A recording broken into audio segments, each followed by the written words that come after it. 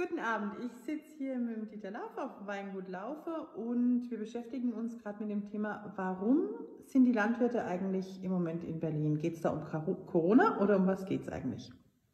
Ja, hallo. Ganz, wir haben gerade gesagt, wir sitzen beim Weingut Laufe. Ich bin natürlich auch Landwirt und Winzer. Uns beide na, trifft es im Moment sehr hart, dass die Frau Svenja Schulze ihr Insektenprogramm na, nächste Woche im Deutschen Bundestag und zwar am Mittwoch na, durchboxen will. Dieses Insektenschutzprogramm na, will verhindern, dass Landwirte in schützenswerten Gebieten, also in FFH-Gebieten, die ca. 8% der deutschen landwirtschaftlichen Flächen ausmacht, na, dass dort eigentlich kein Ackerbau, kein sinnvoller Ackerbau und auch Grünlandnutzung mehr stattfinden kann. Das heißt kein Pflanzenschutz, kein Ackerbau auf 10 Meter an den Gewässern entlang. Also für uns Landwirte schrecklich. Und man muss auch sagen, na, man muss, muss dagegen kämpfen, weil unser Versorgungsgrad in, in Deutschland sehr, sehr, also wir haben gerade eine Versorgung von ca. 90 bis 100 Prozent im Ackerbaulichen und wir haben auch die Aufgabe, die Welt zu ernähren. Und wenn man das so sieht, dann werden wegen diesem Insektenschutzprogramm na, auf der ganzen Welt Regenwälder brennen. Also. Und es fällt ja auch für Deutschland, soweit ich das verstanden habe, ein großer, also eine Riesenmenge an, an Fläche weg, wo Nahrungsmittel produziert wird. Ja, wir sprechen da von diesen 8 Prozent, das heißt 1,3 Millionen Hektar. Und nur, dass Sie mal eine Vorstellung darüber haben, 1,3 Millionen Hektar sind 1,8 Millionen Fußballfelder. Also auch ich kann mir diese Größe nicht vorstellen, aber es ist wirklich groß.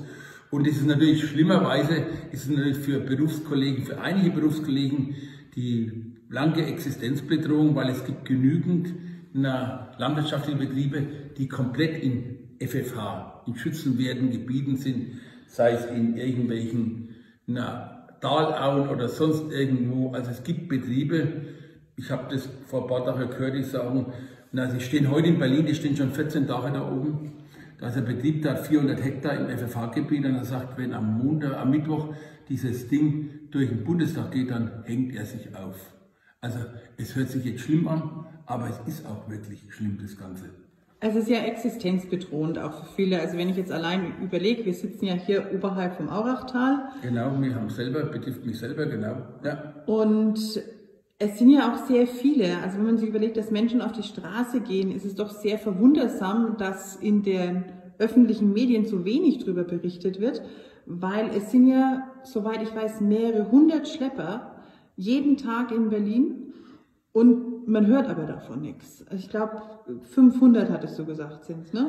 Ja, es ist was ganz Merkwürdiges. Es sind also täglich so circa 500 Schlepper na, bis zu 1000 Leute, die jetzt 14 Tage da in Berlin stehen bei eisiger Kälte. Und sie haben vor lauter Verzweiflung, weil keine Pre die Presse kommt, aber das ZDF und der Springer Verlag in mich, sie sind na, demonstrieren vor dem ZDF nach Haus, sie haben sich hingestellt und es kam niemand raus. Also warum auch immer, man will mit Landwirten na, nicht sprechen und das verstehen wir eigentlich überhaupt nicht, das Ganze.